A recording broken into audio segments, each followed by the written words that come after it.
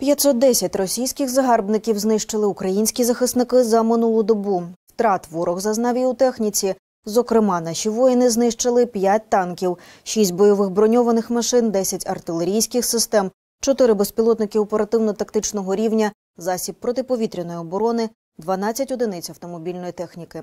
Загальні дані щодо втрат противника від початку широкомасштабного вторгнення, за даними Генерального штабу на ранок 12 серпня, маємо такі. Українські воїни знищили 253 тисячі 290 окупантів. Російська армія втратила 4 тисячі 295 танків та 8 тисяч 324 бойові броньовані машини.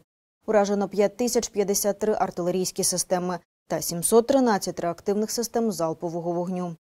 472 засоби протиповітряної оборони, знищено 315 літаків та 313 гелікоптерів. Ворожої автомобільної техніки та автоцистерн уражено 7523 одиниці.